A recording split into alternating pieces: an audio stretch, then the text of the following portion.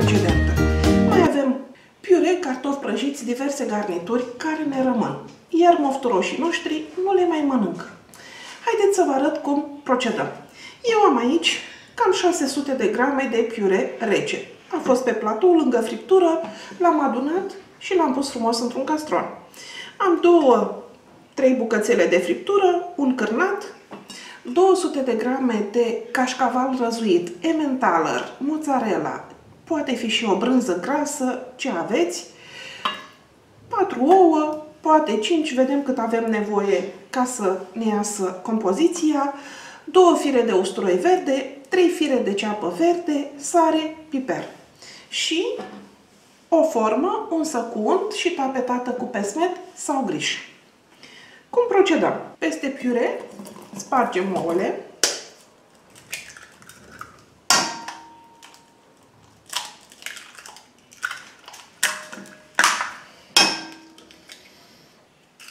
Trei ouă. Amestecăm bine.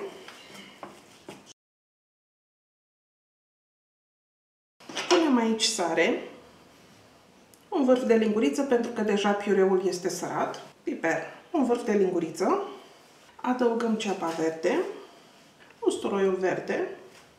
Dacă nu aveți ceapă și usturoi verde, puteți folosi o ceapă mică uscată pe care o înăbușiți separat în puțin ulei cu puțină apă până se înmoaie și usturoi puteți adăuga un cățel de usturoi uscat, dat pe răzătoarea mică sau pisat.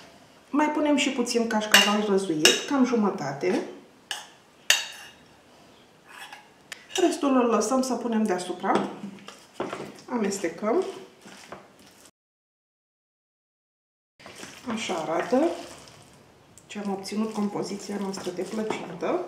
Tăiem felii cârnatul sau cu bulețe, îl putem tăia în două. Sunt cârnați de casă făcuți de noi. Găsiți rețeta dacă scrieți pe Google cârnați de casă Gina Bradea.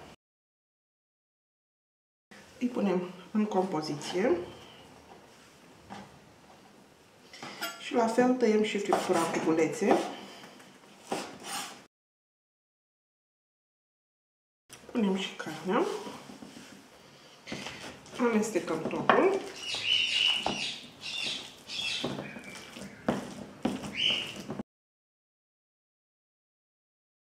Pun și ouul la patrulea ca să fie compoziția mai fină.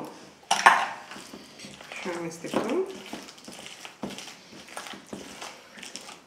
Ce mai puteți adăuga în această budincă? Ardei gras, roșii, tăiate cu bulețe. Dovlecel dat pe răzătoare și bine scurs. Vinete tăiate cu bulețe presărate cu sare, lăsate 5 minute, bine scurse și adăugate. Dacă nu aveți friptură, poate aveți resturi de salam preparate care nu se mai mănâncă.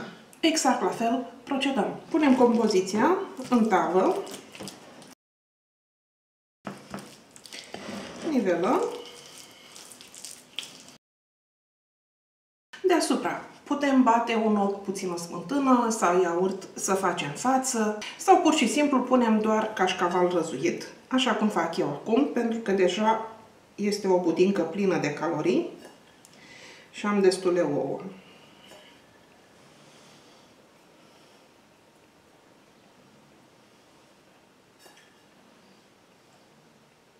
Gata! Budinca noastră merge acum la cuptor o temperatură de 200-220 de grade. Foc sus jos la cuptoarele electrice, foc mediu spre maxim pe ultima treaptă la cuptoarele pe gaz. Lăsăm cât să se coaguleze oul. Un 20 de minute, 25 este suficient.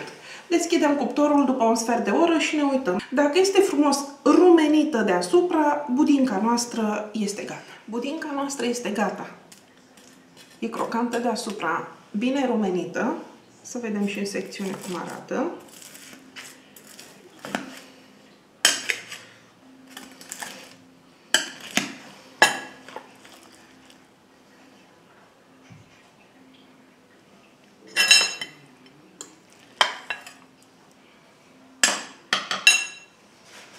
Poftiți la masă! Piure de cartofi, friptură rece, ceapă, usturoi, și câteva ouă. Simplu, gustos, sănătos, recuperăm absolut totul. Sunt Gina Bradea. Îmi plac rețetele simple și gustoase și sunt contra risipei în bucătărie. O să găsiți de desubt în linkul din descriere mai multe metode de a pregăti ceva bun din resturile care rămân de la mesele de sărbătoare.